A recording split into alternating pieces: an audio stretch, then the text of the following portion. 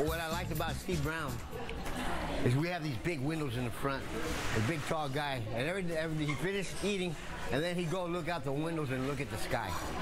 And I thought that was really neat. One time he showed me a cloud. He said, "See that piece right there? If that ever breaks off, we're going to have some problems." He's always looked at us and uh, always looked at the counter and everything. He says, "Oh my God, I wish I could eat everything that's on here." He's going to be missed over here. Well, just because you're retiring doesn't mean you still can't eat here. Steve, come back.